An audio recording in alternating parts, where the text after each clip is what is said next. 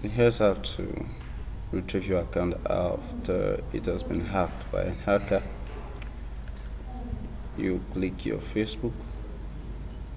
You have options of accounts you've logged in earlier. You click on find your account and you type in your number and you search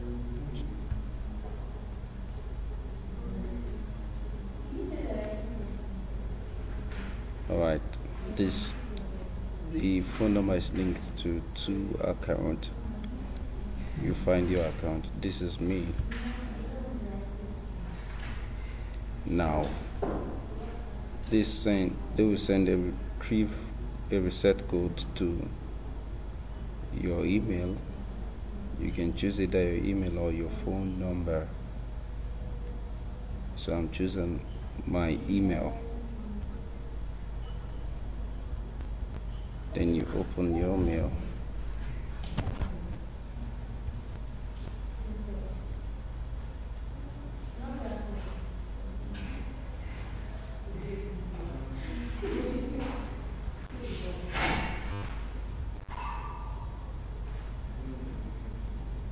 Okay.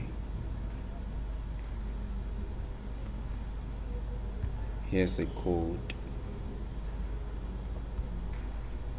secret code.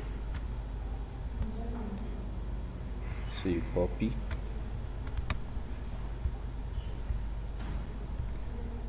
And you paste.